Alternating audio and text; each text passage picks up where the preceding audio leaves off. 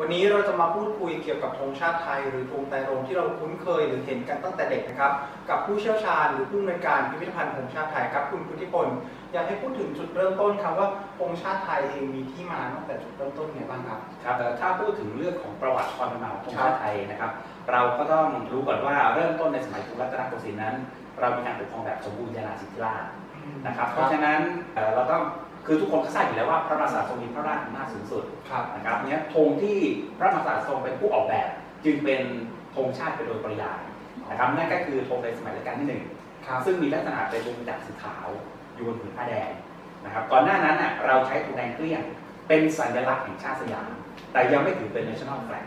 นะครับก็คือติดบนเรือตังเกบนเรือทั่วไปของประชาชนให้เห็นให้ เรือลำอื่นเห็นว่าอ๋อนี่คือธใช่งเป็นเรือจากไทยเรือจากสยาม ครับผมเป็นแค่สัญลักษณ์นะครับ เพราะว่าครับ เราไม่สามารถที่จะนำเอาธงที่ประชาชนออกแบบนั้นเป็นธงชาติได้ เพราะเรายังถือเป็นสมบูรณาญาสิทธิราชย์อยู่ครับ นะครับพอขึ้นรัชกาลที่หนึ่งพระองค์ได้ออกแบบโดยการนำวงจักรสีขาวมาวางกลางผืนผ้าแดงวงจักรมาจากพระนามแห่งราชวงศ์จักรีนั่นเอง นะครับเพราะฉะนั้นท่านผู้ชมที่ไม่แน่ใจว่าธงแบบแรกของสยามเป็นแบบไหน ก็จำชื่อพระนามแห่งราชวงศ์ไว้ นะครับนั่นคือรูปแบบจักรนะครับหลังจากนั้นพอขึ้นสมัยรัชกาลที่สองเราได้ช้างเผือกเอกมาถึงสามช้างเลยนะเป็นช้างเผือกที่สวยสดงดงามมากครับนะครับถูกต้องตามตำราโคชลักษณ์นะครับ ก็มีพระยาเสวยกุญชรพระยาเสวยอัยยาลาแล้วก็พระยาเสวยโคชลักษณ์นี่คือชื่อช้างซึ่งช้างทั้งสามเชือกนี้ก็เลยกลายมาเป็นสัญลักษณ์ในธงชาติแบบที่สองแบบที่สองไตรจะมีวงจักรนะนะครับ ก็คือองค์ได้นำช้างเผือกเนี่ยวางกลางวงจักรอีกทีหนึ่ง สำหรับใช้ชักบนเรือหลวงหรือกำปั่นหลวงนะครับ ส่วนเรือรัษฎรทั่วไปเรือสามัญชนเนี่ยก็ยังใช้เป็นทองแดงเกลี้ยงอยู่นะนะครับ เช่นเดียวกับสมัยอยุธยานะครับ เพราะว่าวงจักรเนี่ยถือเป็นส่วนหนึ่งของพระนามแห่งราชวงศ์จักรีคนธรรมดาเนี่ยใช้ไม่ได้นะครับแล้วก็มีการลักษณะคือแบ่งแยกก่อนเป็นสีแดงเกลี้ยงประชาชนธรรมดา แต่ถ้าเป็นธงเรือหลวงหรือว่าอีกนัยยะหนึ่งก็คือธงชาติเนี่ยนะครับ ก็จะเป็นลักษณะคือเป็นวงจักรแล้วก็มีช้างเผือกช้างเผือกครับ ก็ก็ธงที่เราใช้กันในงานถูกต้องนะครับก็คือเป็นเป็นฐานะเป็นฐานะตัวแทนเป็นธงของชาตินะครับจนกระทั่งขึ้นสมัยรัชกาลที่สี่อ่าพระบาทสมพระบาทสมเด็จพระจอมเกล้าเจ้าอยู่หัวรัชกาลที่สี่ ครับนะครับ ซึ่งธงนี้ก็จะเป็นยังเป็นธงช้างเผือกที่เราจะคุ้นเคยกันในประวัติศาสตร์มากที่สุด ถูกต้องนะครับท่านไม่อยากเห็นราษฎรเนี่ยใช้ธงสีแดงแล้วไปซ้ำๆกับ ประเทศอื่นนะแล้วก็สีแดงมันจบเป็นสิทธิบัตรไม่ได้นะครับทุกคนก็มีสิทธิ์ใช้กันหมดนะครับเพราะสิ่งสำคัญที่สุดเวลาเราไปค้าขายเนี่ยเราไปจอดเรือเทียบท่าเนี่ยเอ่อเมืองท่าเขาก็ต้องรู้ว่ามาจากประเทศประใดเทศไทยใช่แต่การใช้สีแดงพูดว่าพื้นธรรมดาเลย ก็อาจจะซ้ำกับประเทศอื่นถูกต้องหรือประเทศอื่นก็ไม่รู้ว่านี่คือสยามถูกต้องครับนั่นแหละคือปัญหาพระองค์จึงได้ตัดสินพระราชกฤษในการนำวงจักรออก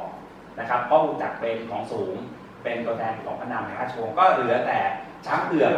นะครับ และนี่คือที่มาของคนไทยที่รู้จักกันดีครับว่าธงช้างเผือกคือธงชาติสยาม เพราะธงช้างเผือกเป็นธงแบบแรกที่ประชาชนได้ได้นั่นเองอ๋อเพราะฉะนั้นเราก็เลยจะคุ้นเคยที่ใช้กันทั่วไปเลย ถูกต้องที่สุดไม่ไม่ไม่จำเป็นจะต้องเป็นงานพระราชพิธีหรืองานที่มีเสด็จใช่นะครับ แล้วก็เป็นครั้งแรกที่ทั้งราษฎรและก็พระกษัตริย์ต่างใช้ธงแบบเดียวกัน นะครับนั่นก็คือธงช้างเผือกช้างเผือกถือเป็นสัญลักษณ์เอ่อประจำสถาบันเป็นสัตว์ประเสริฐนะครับ เพราะฉะนั้นก็เปรียบเหมือนกับว่า เวลานำธงช้างเผือกเนี่ยออกไปที่ไหนก็เป็นลักษณะคือพระกษัตริย์ทรงปกครองอยู่ที่นั่นด้วยลักษณะนั้นเอง แต่นอกจากธงช้างเผือกรุ่นแรกที่เป็นมีช้างเผือกอย่างเดียวแล้วมีพัฒนาการของธงช้างเผือกยังไงบ้างครับครับอันนี้สำคัญแล้วก็มีการใช้ธงชาติเผือกเป็นธงชาติสยาม นะครับโยจน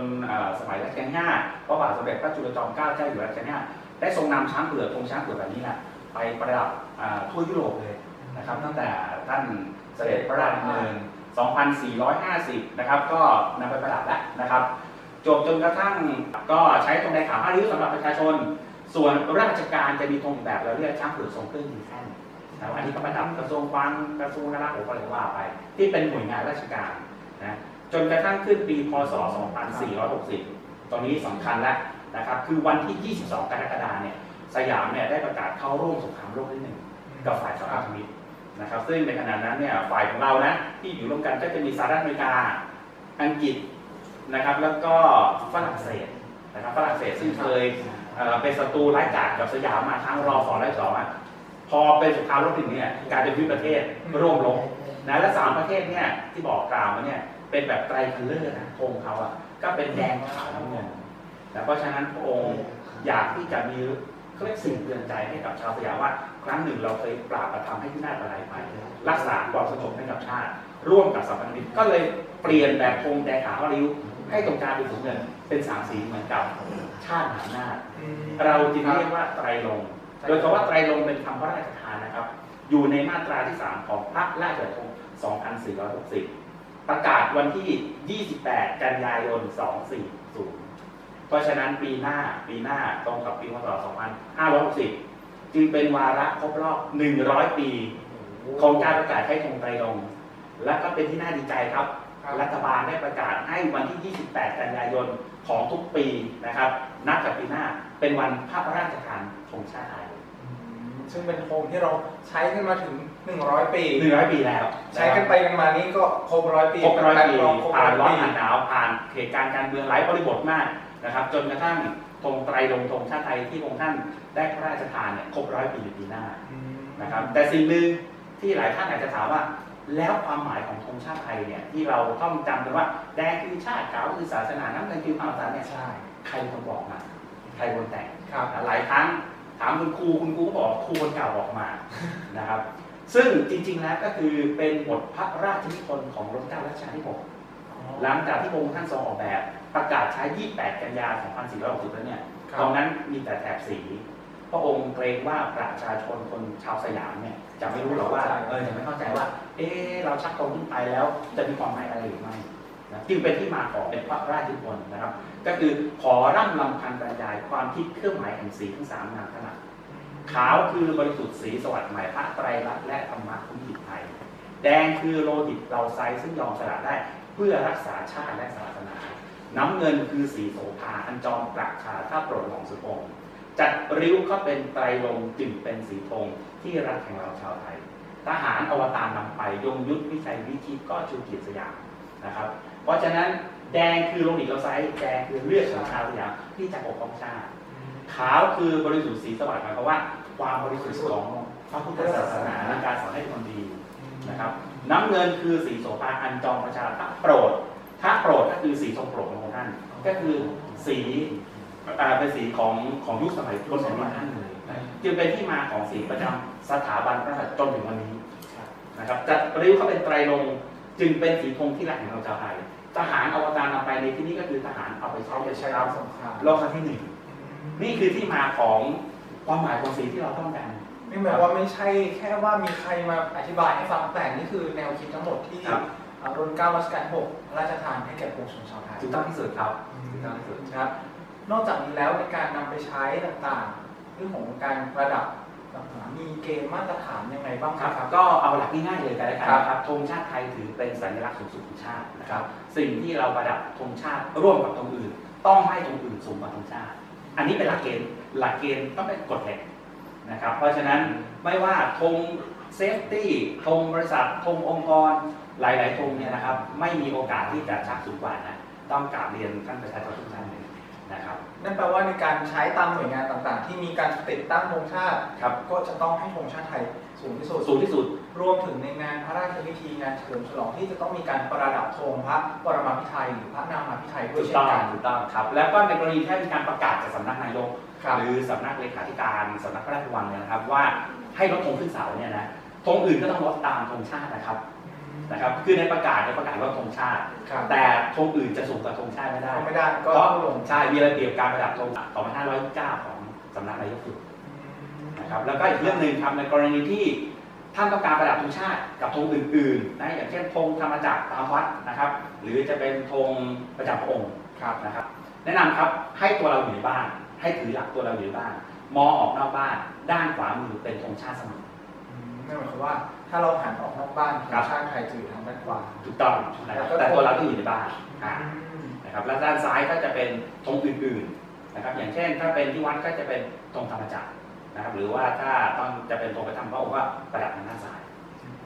พูดถึงอันนี้บทบาทของธงชาติไทยในประเทศไทย แล้วก็ในในเรื่องของธงชาติที่ใช้ในการงานต่างๆ ระดับนานาชาติเองครับในการประดับก็เช่นเดียวกัน เราก็จะประดับเท่ากันทุกประเทศนะครับ ถูกต้องครับ ก็จะมีหลักสากลอยู่ครับนะครับ ก็คือ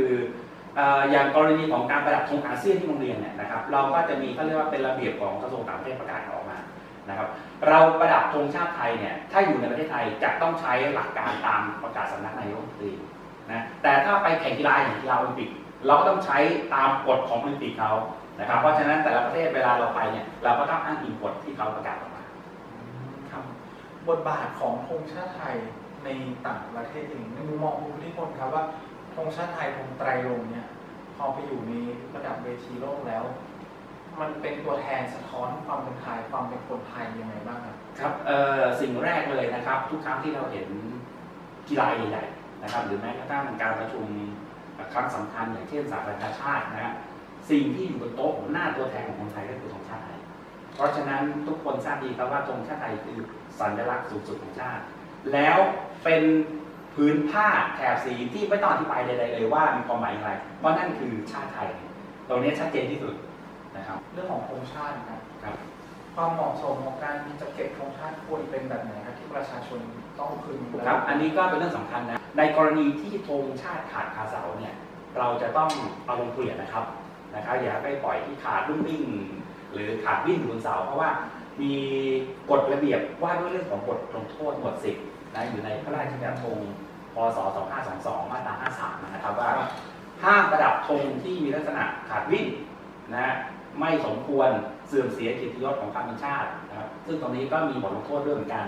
นะครับเพียงแต่ว่าคนไทยก็ละเลยไม่ได้สนใจ แต่อยากฝากครับธงผืนเดียวที่แสดงความเป็นตัวเป็นตนของชนชาติไทยเนี่ย รักษาไว้ซึ่งเกียรติภูมิของชาติดีกว่าครับครับซึ่งเรื่องของธงทั้งหมดนี้ถูกรวบรวมอยู่ในพิพิธภัณฑ์ธงชาติไทยแห่งนี้ ใช่ครับคุณพุทธิพลเก็บมีอะไรบ้างครับที่จัดแสดงอยู่ในห้องแห่งนี้คือพิพิธภัณฑ์ธงชาติไทยหลายคนอาจจะคิดว่าน่าจะเป็นที่เก็บธงเก่าๆที่ใช้แล้วมั้งจริงๆไม่ใช่นะครับ ที่นี่เนี่ยจะมีการรวบรวมวัตถุชิ้นเอกเกี่ยวกับธงชาติไทย อย่างเช่น พระราชบัญญัติธงเล่มแรกของประเทศไทย นะฮะพื้นธงที่มีการพิมพ์อยู่ในอ่าเอกสารงานต่างๆต่างประเทศเนี่ยในระดับคือยุครัชกาลที่ครับ4และรูปแบบเอ่อธงชาติเปลือกที่มีการใช้จริง มีความแตกต่างกันอย่างไร และสาเหตุที่ต่างเป็นเพราะอะไรจะอธิบายอยู่ที่นี่หมดเลยครับ เหมือนกับเป็นศูนย์เรียนรู้ธงชาติไทยเลยใครอยากมาหาความรู้เกี่ยวกับธงชาติไทยยินดีครับได้เลยแล้วก็ถ้าอยู่ไกลนะครับไม่สะดวกมาเนี่ยก็สามารถเข้าที่ Facebook พิพิธภัณฑ์ธงชาติไทยได้นะครับผมก็จะตามตอบทุกคำถามที่ ท่านสนใจเหมือนกันนะครับนี่ก็เป็นแหล่งแหล่งความรู้อีกแหล่งหนึ่งครับที่น่าสนใจใครอยากศึกษาที่มาที่ไปจุดกำเนิดหลักฐานชิ้นสำคัญทางประวัติศาสตร์เกี่ยวกับธงชาติไทยมาได้ที่นี่เลยครับ